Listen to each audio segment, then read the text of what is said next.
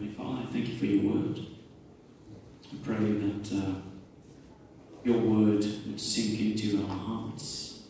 I pray that it would bear fruit in our lives. I pray that we would listen, that we would ponder your word. I thank you for all that you are doing in our lives. Amen. All right, I have a question for you tonight. I often open with a question. And uh, because I'm, I'm that kind of person, I like to ponder things, and I assume that you do too. Uh, I may be right, I may be wrong, but the question is why are you here? And it's not like, why in the world did you come here tonight? But it's like, why are you here? What, what is the purpose for you being here in Moldova? Here in church tonight? Because there are certainly many reasons we are here. We have different purposes for being here. Maybe you're here because just by accident you happen to stumble into the room, in which case welcome. You're most welcome. Perhaps your friends invited you and you didn't want to be alone on a Sunday. That's fine. You're welcome.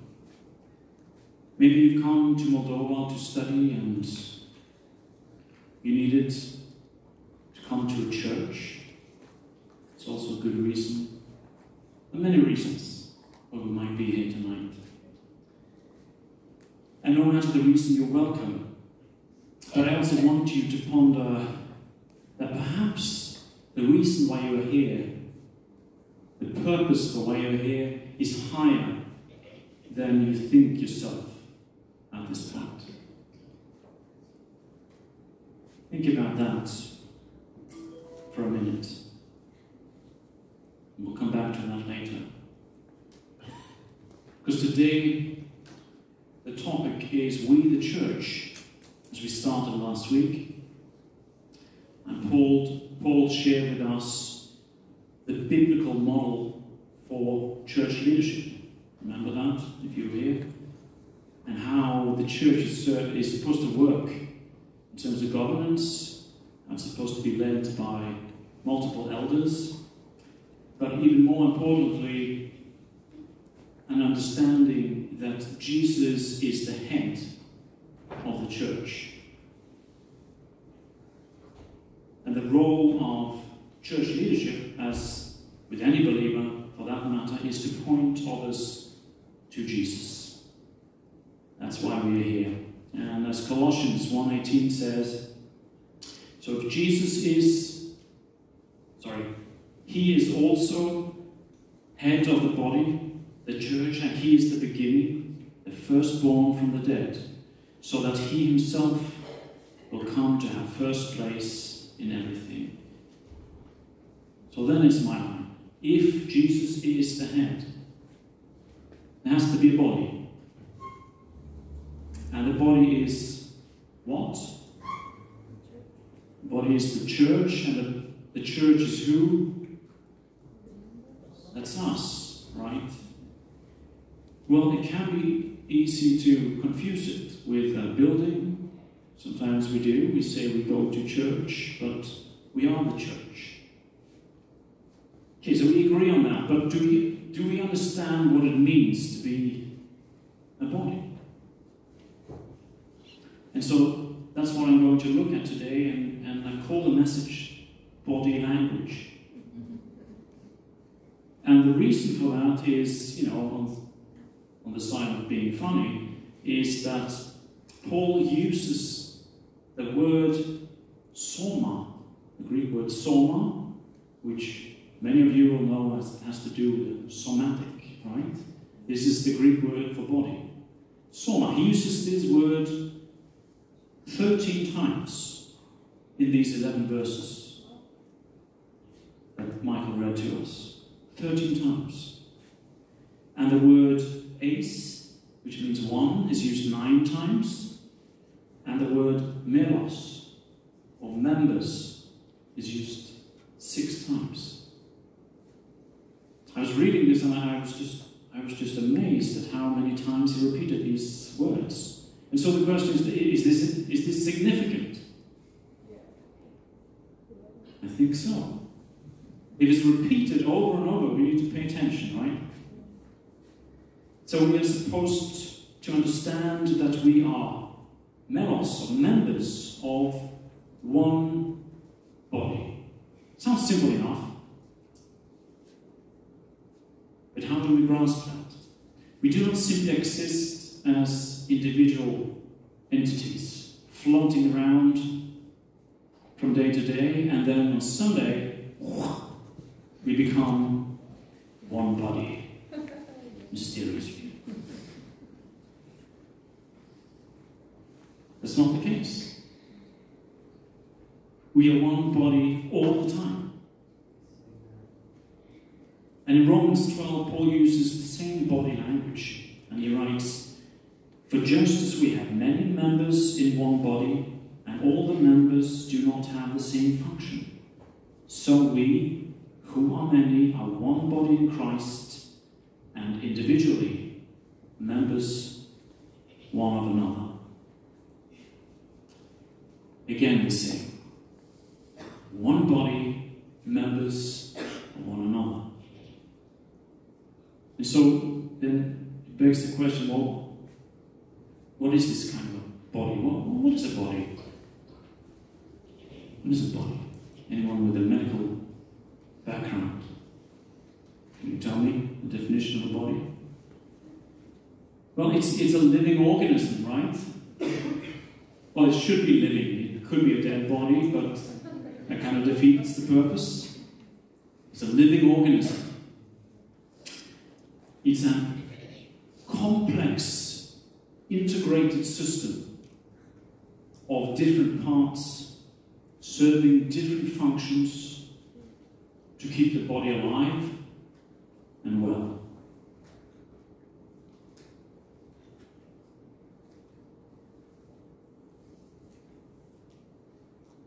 And if a physical body has these many parts that are complex and working together, Paul says we are a body, it also means that we do not have the same function in the church. We also have different functions. What is your function in the church? Do you know what your function is? I, sh- I shared these verses with my kids on, on Friday night, and, and we discussed the importance of every different part of the body to the whole. And, and some of the parts, they seem kind of not important, right? We have, we all have little toes, and so my kids thought it was kind of funny that the little toe was just as important as anything else. But you know, we, we don't think about it, but the little toe is actually very important for balance. More important than we think. I think the only time you really consider it is if you lose it. You will see how important it is. And the problem with a little toe is that you tend to kick it into things, right? And it hurts. And the whole body suffers with it. No?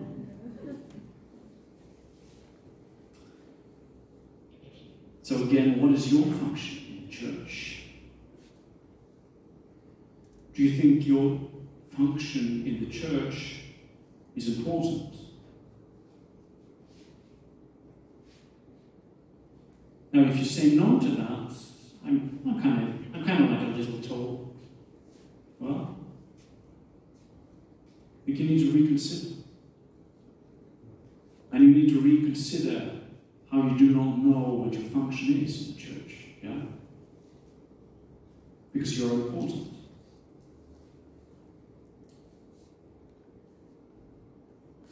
Also, in God's kingdom, nobody is called upon to be merely a spectator. faith is active. If you are here because you are saved and you have a faith, your faith is active. Faith moves us toward God. And faith moves us to engage with the body. And so in this church, we'd like you to be engaging with the body. Maybe you're new here, but we, we uh, try to have home groups going, and now, as you heard from the announcements, we are starting some new home groups. And it's not just because we want home groups, but it's because we want you to get to know a group of people on a deeper level than, than we can than we can get to when we socialize after service. It's, it's good to have a, a glass of water and to socialize after service, but you can only do so much on a Sunday afternoon. And then you will meet people who are perhaps older than you, perhaps younger than you, possibly from a different continent, and most likely from a different church background, And you will be introduced to new people that you cannot necessarily choose. Now, it's good to have, you know, a, a friend or two with you because it's comfortable. But if everyone is your peer and they all look like you and talk like you and think like you, then you're just not going to learn as much. There's a, there's a huge strength that we have in the church that we can mix people of ages and backgrounds to be together in a group. And if you dare to look around, you will see that we have people from the freshness of youth and to the vintage echelons of wisdom. How's that for calling someone older? Huh? I'm getting close. I'm getting close. I'm just middle aged.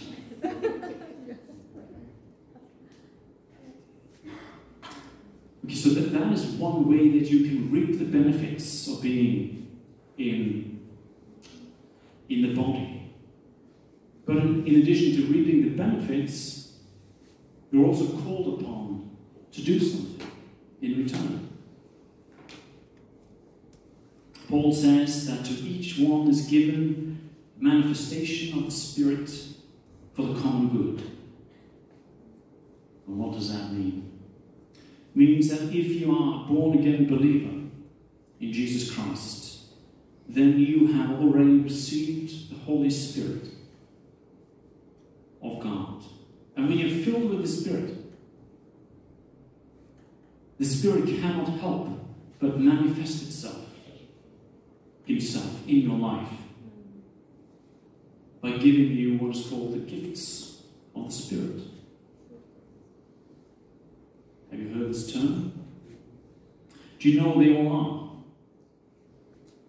Because most Christians don't, I think. And we often confuse them with the fruit of the Spirit. Now, there are a couple of passages that, that speak of the spiritual gifts.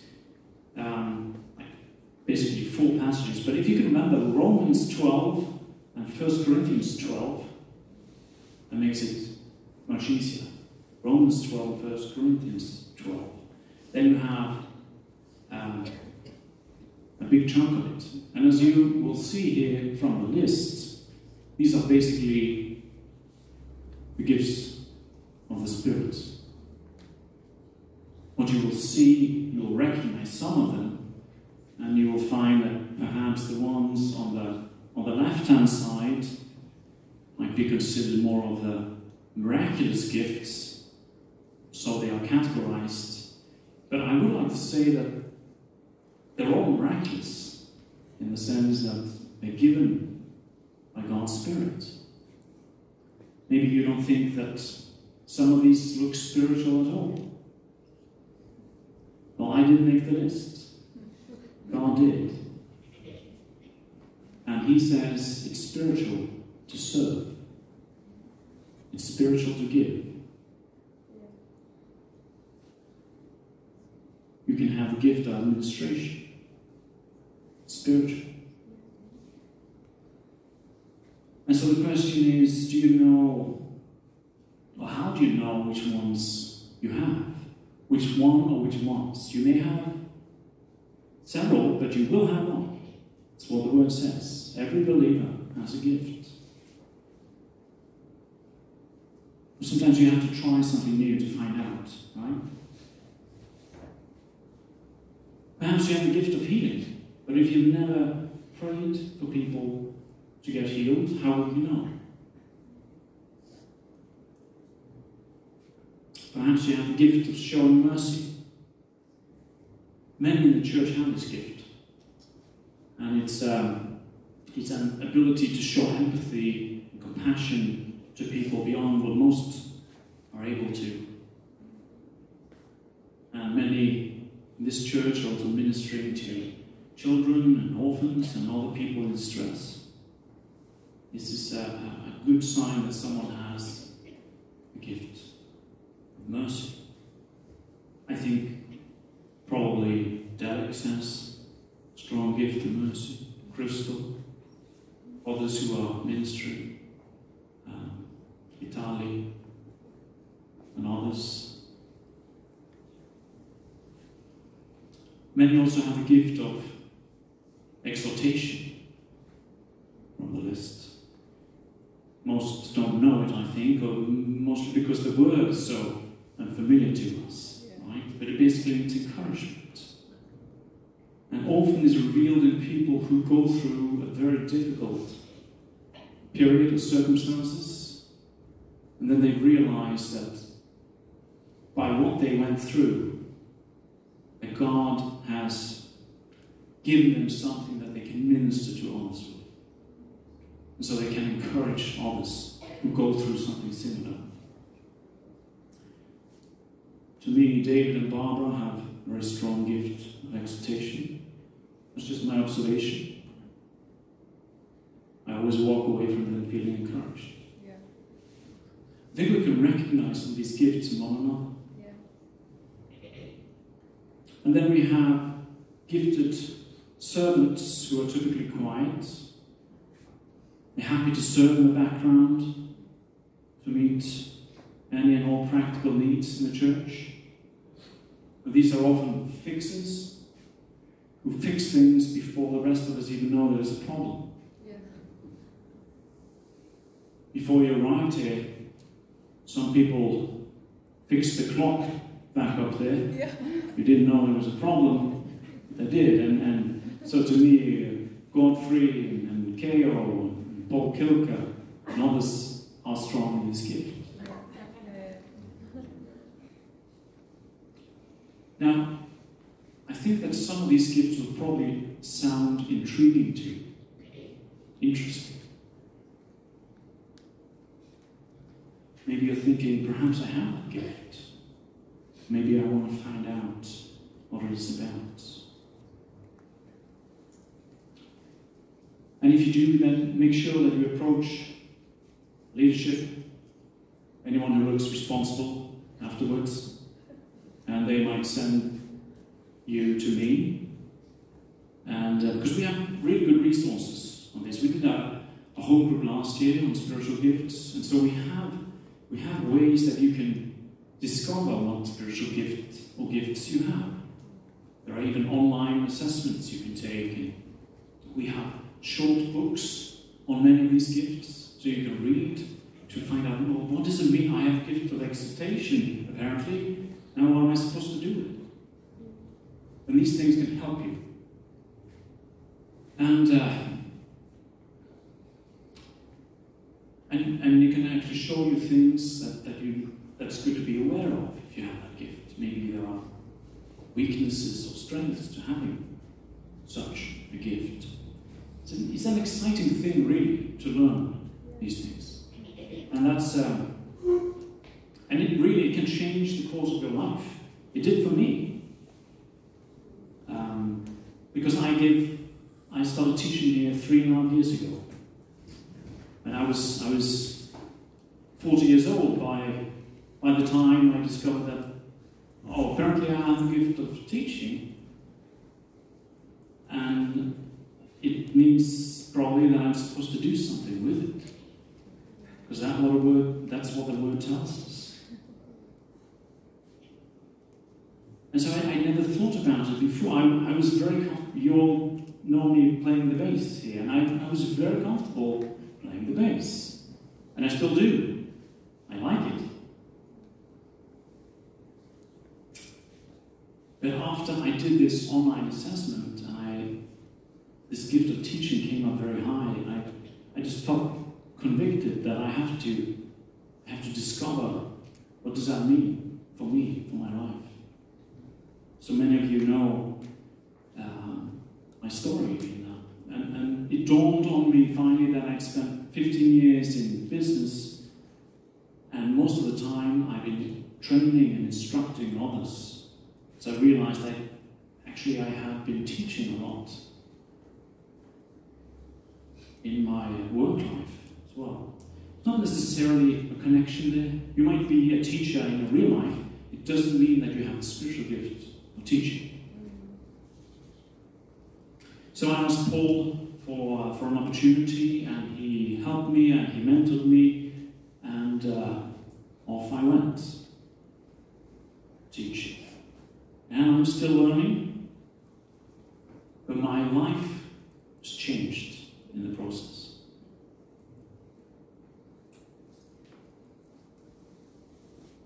And it can happen to you. Age makes no difference. Okay, so now that I have discovered my gift, how can I, well, what I'm supposed to do with it?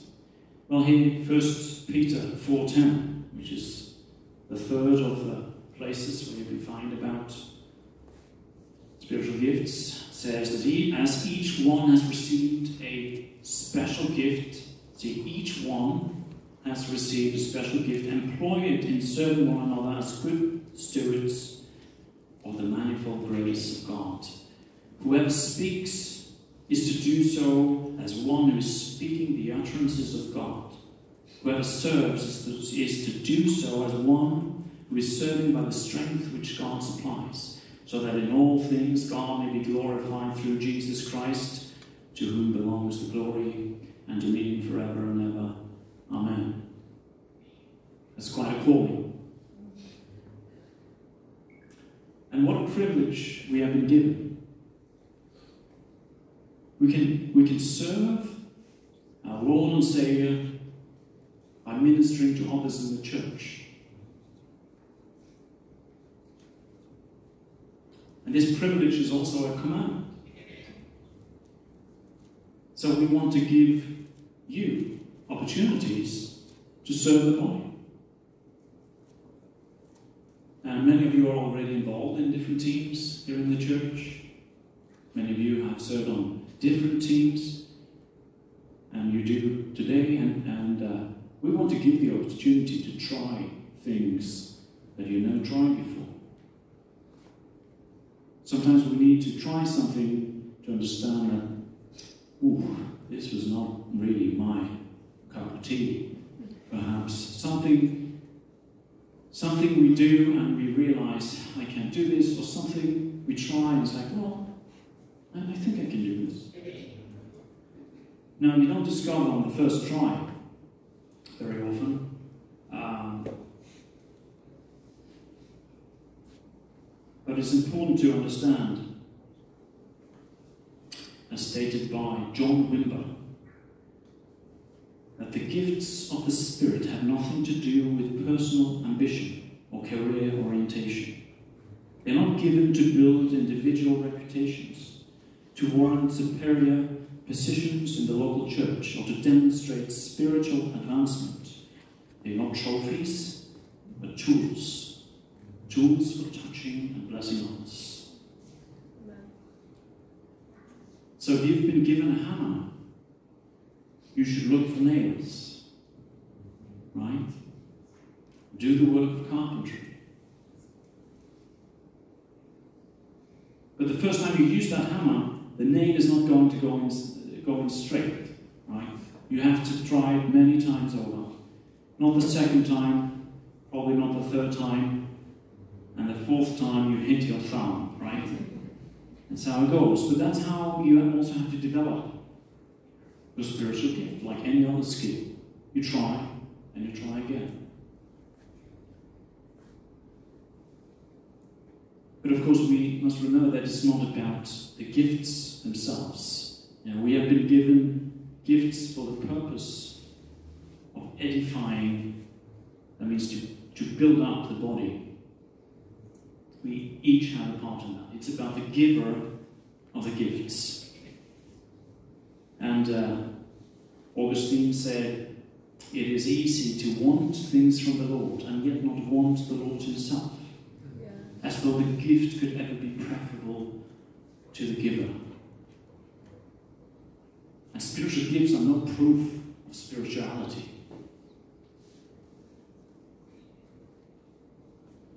One who hath the gift of prophecy is not no more spiritual than the one who has the gift of serving.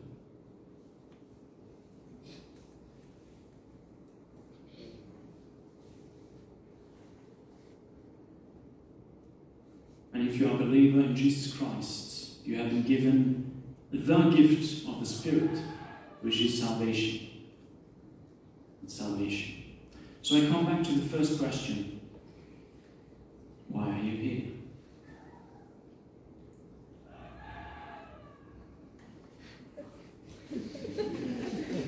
somebody who doesn't know.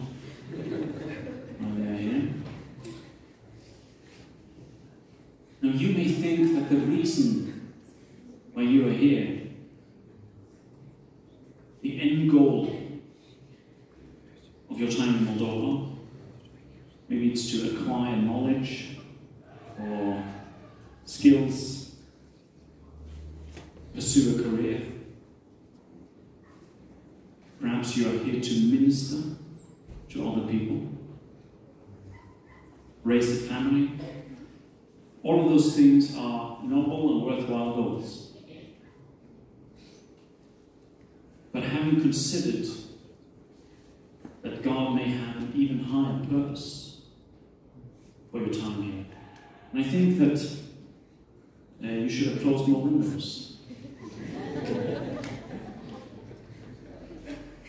I think that if you allow Him, God will work in you during this time to form you and to mold you according to His purposes. We think we are here for one specific purpose, but God has He has a different purpose in mind for us. I came to Moldova to um, stay for as short a period as possible, but no more than six months. That's true. That's 13 years ago.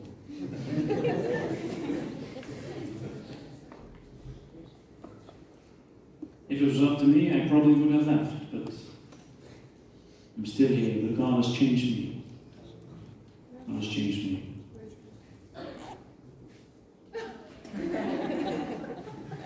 Yes, I praise God too.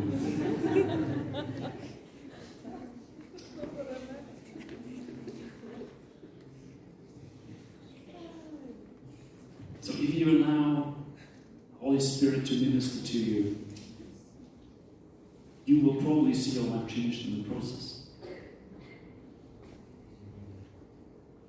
That is my message today. And I, I want to start it because I want us to spend some time in prayer. I want us to pray in groups of three, four, something like that. And, and pray for one another. Pray for God to, uh, well, first for His gift of salvation. And then and pray for God's purpose to be revealed in us and through us. These are just things I'm throwing at you. And we want to seek God for the gifts of the Spirit. If you don't know it, pray that you can discover. what your gifts are.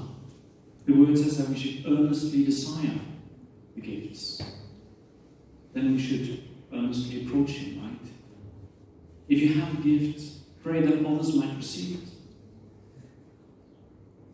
Maybe you can grow in it. If you have a gift of tongues, pray that you may also interpret. If you have a gift of faith, pray that others may be strengthened in their faith. And if you run out of topics, ask one another, what can I pray for?